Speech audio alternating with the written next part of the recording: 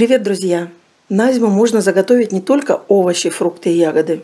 Предлагаю заготовку горохового супа в банке на зиму. Такая заготовка пригодится, если у вас, к примеру, есть студенты. Или вы сами можете по-быстрому приготовить гороховый суп. Горох перебираем и заливаем водой на ночь. Утром я воду слила, перекладываю горох в кастрюлю Заливаю холодной водой 1 к 2 и ставлю на плиту. Варю до полуготовности гороха примерно минут 20.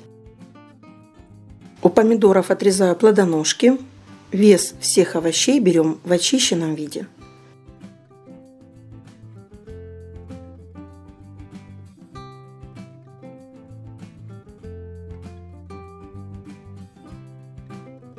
Перекручиваем помидоры через мясорубку.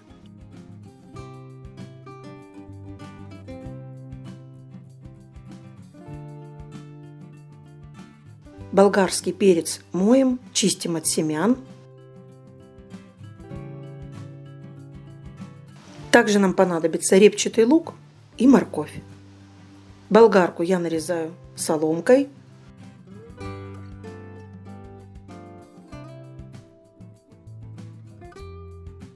Лук нарезаю мелким кубиком.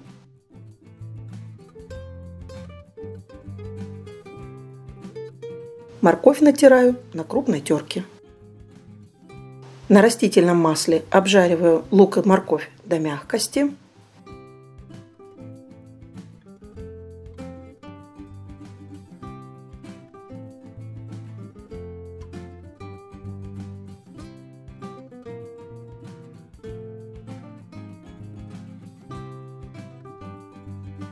Горох уже сварился. Сливаем воду. Воду можно слить в отдельную емкость, для того, чтобы потом, по мере необходимости, добавлять при варке в кастрюлю. Морковь и лук обжарила до мягкости, добавляю болгарку и обжариваю минуты две.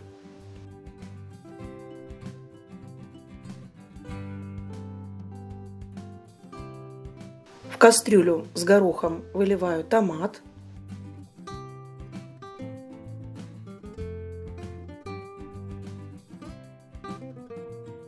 Добавляю соль, сахар, душистый перец.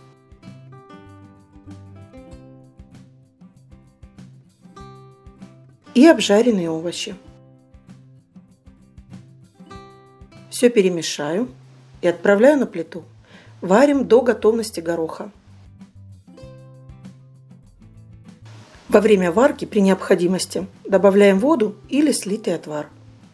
У меня варилось примерно 40 минут.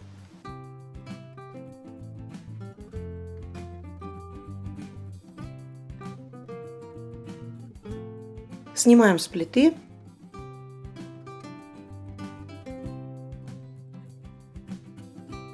Добавляем уксус, перемешиваем.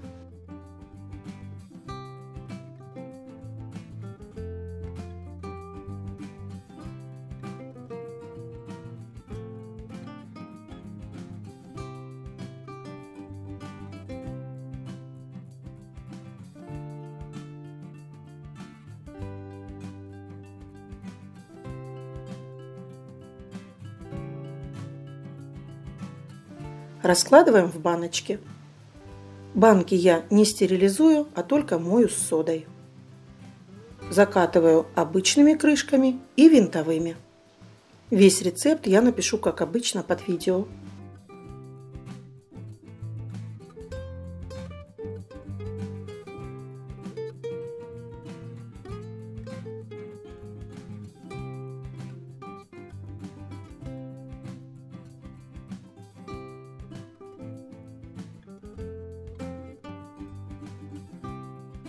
Такая консервация прекрасно хранится при комнатной температуре.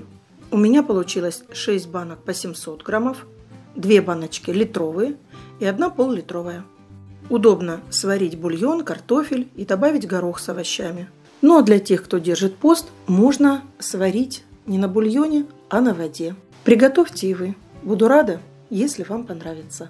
Спасибо, что были со мной, смотрели видео. Здоровья вам и вашим близким.